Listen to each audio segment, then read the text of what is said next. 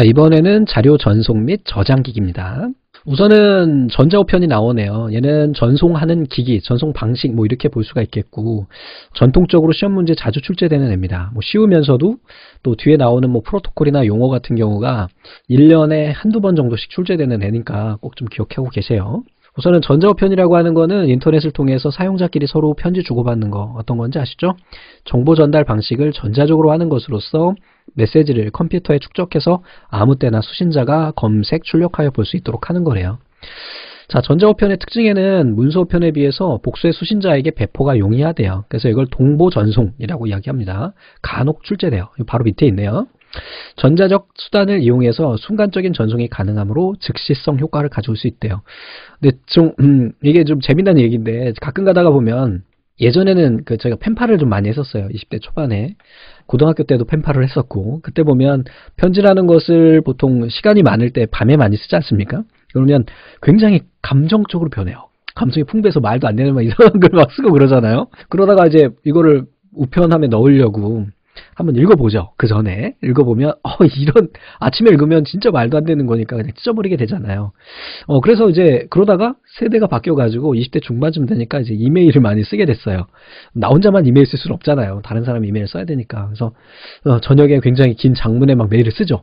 막 쓰고 아 이거 보내야 돼 그러면서 어? 사랑을 고백하는 거야 그러면서 전송을 딱 눌러요 그리고는 후회하죠 그래서 다음날 이제 전송 내용 딱 확인하면서 어, 어떻게, 어떻게, 얘를 내가 어떻게 보지? 막 이런, 그런 적이 몇 번 있었습니다. 뭐, 여러분들도 다 있을란가 모르겠는데, 어, 근데 당시에 이제, 한메일이죠. 아, 한메일 다음, 음? 아, 다음 전신인 이제 한메일 시절에, 그때 보면, 한메일, 우리나라에서 메일을 쓰는 분들이 한메일밖에 없었어요. 당시에 뭐, 야후 메일이 있었고, 한메일이 있었는데, 야후 메일은 거의 쓰지 않고, 그 라이코스라는 애도 있었는데, 그 라이코스는 좀 뒤에 나왔나?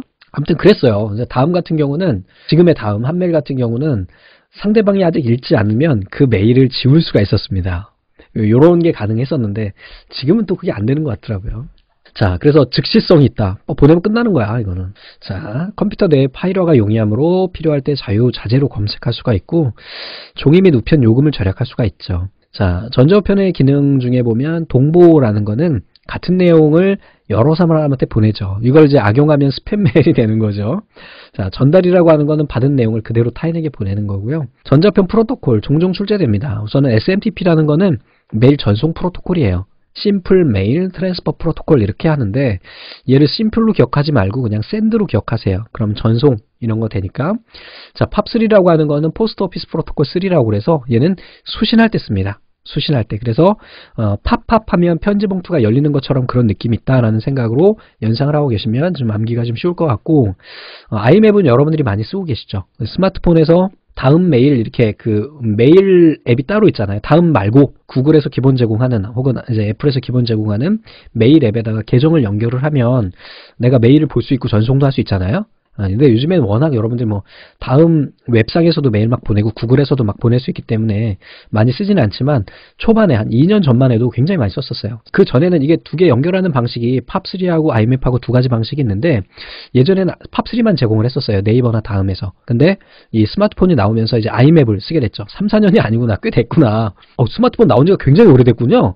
어, 하여간에 초기에는 팝3를 썼는데 얘네가 이제 음, 스마트폰이 점점 보편화되면서 아이맵을 사용하게 됩니다. 얘는 전자편 제목만 전송하는 거예요. 목록만 볼 수가 있어요.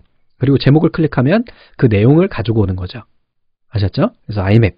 여러분들이 지금 스마트폰에 이메일이라고 하는 그 앱에다가 여러분들이 다음이나 네이버 혹은 구글을 통합해서 메일을 관리할 수 있잖아요. 그게 바로 아이맵. 그래서 메일 목록만 나오잖아요. 그리고 클릭했을 때 데이터를 가지고 오는 거죠.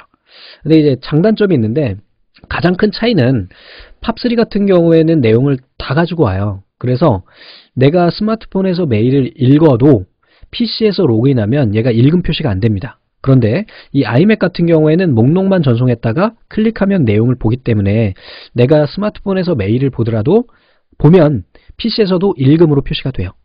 아, 연동이 되는 거죠. sync가 더 맞는 거죠. 자, 다음에 MIME이라고 하는 애가 이제 종종 출제되는 애인데 얘는 웹브라우저가 지원하지 않는 각종 멀티미디어 파일을 메일로 주고받을 수 있는 거예요. 그래서 multi-purpose, 다양한 목적에서 의해서 사용되는 거. 그래서 뭐 multi-purpose라고 기억하지 마시고 그냥 멀티미디어라고 기억하시면 훨씬 더 좀 쉬울 것 같아요.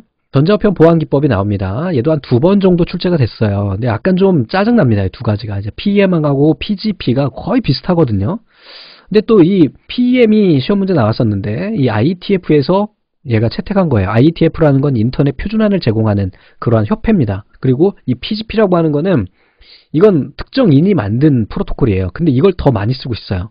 좀 약간 아이러니한데 어, 그러다 보니까 약간 헷갈릴 수가 있는데 실제로 구- 국제 표준은 PEM이에요. IETF에서 한 그리고 PGP는 현재 우리가 가장 많이 쓸 수 있는 어, 이런 것이 됩니다. 자, S/MIME은 인증 메시지 무결성, 송신처의 부인 방지, 데이터 보안과 같은 암호학적인 보안 서비스를 제공하는 게 이 S가 secret이에요. secret이 어, 이런 것들이 있다. 다음에 메시지 처리 시스템. 얘는 개인용 컴퓨터, 팩시밀리, 텔렉스 등의 통신 수단과 관계없이 상대방의 통신 수단별 번호만 알면 국내외 어디서나 메시지를 교환할 수 있는 거. 그래서 MHS, Messaging Handling, Message Handling System. 요거 영어로도 나오니까 기억하세요. MHS로도 나오고 기억하시기 바랍니다. 전통적으로 예전부터 많이 나오는 애예요. 자, 다음에 이제 전송기기 또 계속 나옵니다. 이게 이건 전송기기라고 하면 안 되겠다, 그지? 전송 방식. 이렇게 하는 게 더 나을 것 같은데. 자, 전송기기에는 우선 이제 팩시밀리 모르시는 분들 없죠. 그래서 얘는 문자, 도표, 사진 등을 어, 이렇게 화소로 분해해가지고 정기적 신호로 발송을 합니다. 현재도 굉장히 많이 쓰고 있어요. 왜 그러냐면 이메일로 우리가 스캔을 하거나 사진을 찍어서 하면 위변조가 가능하거든요.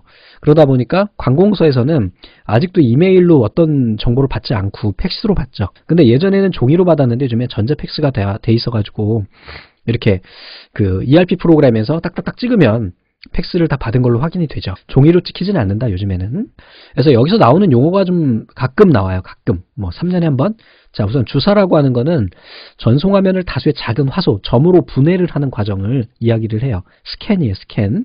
평면 주사의 기계적 주사 방식과 고체 주사의 전자적 방식이 있다. 그래서 전자적 주사 방식에는 고체 주사 방식이 있다. 요 같은 내용이죠.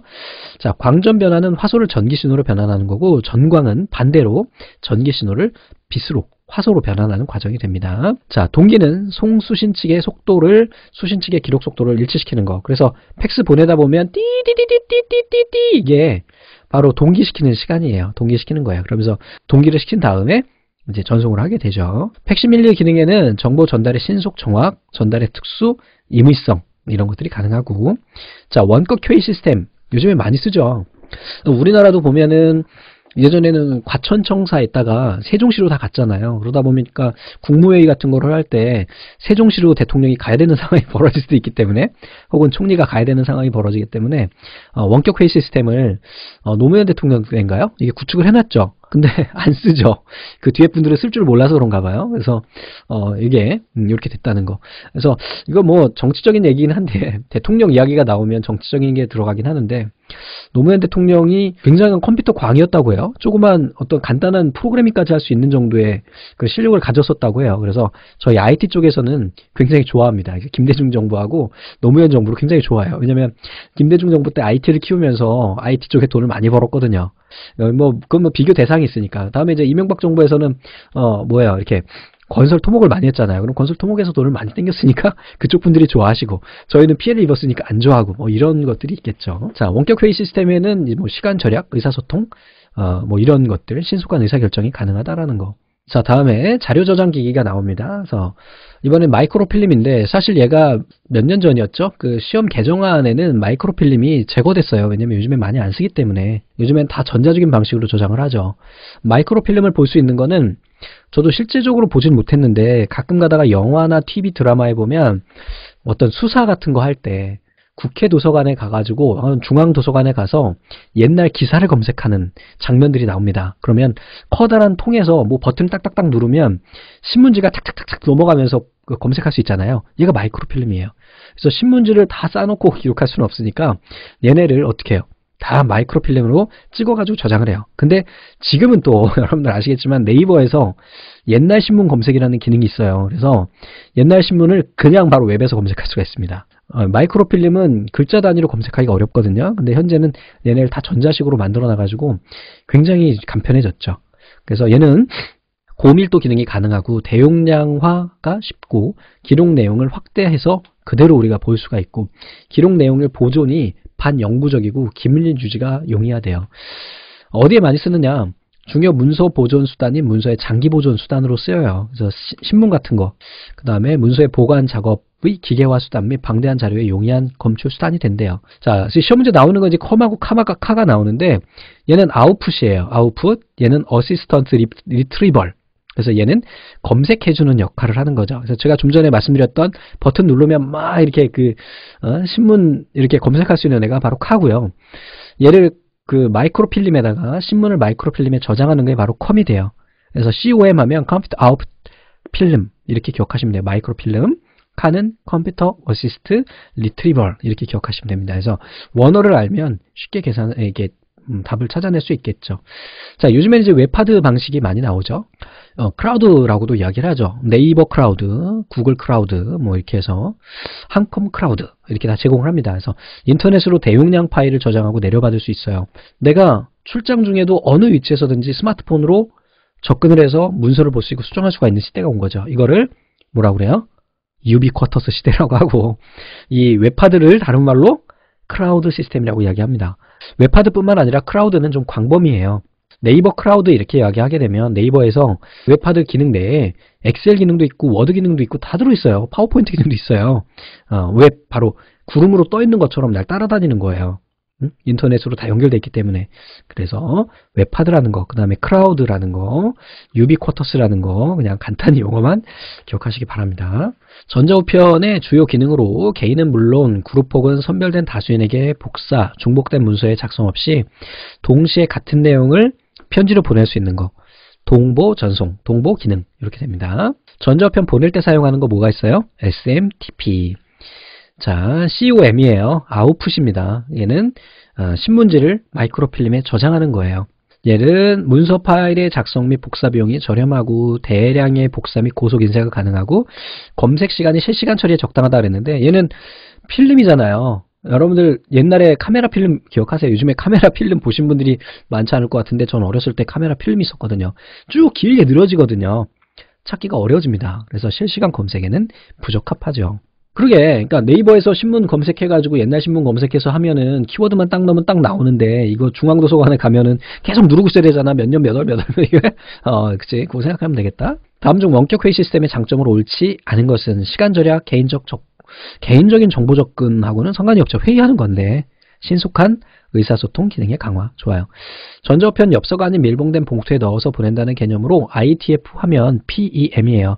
그래서 PEM, IE 이렇게 기억하시면 되겠죠? 그래서 IE, PEM 그 외에 뭐 PGP 이렇게도 아, 요 구분하는 문제가 간혹 출제가 되니까 기억해 주시면 될 것 같습니다. 그래서 여기까지 해가지고 또 음, 살짝 봤습니다. 자 감사합니다.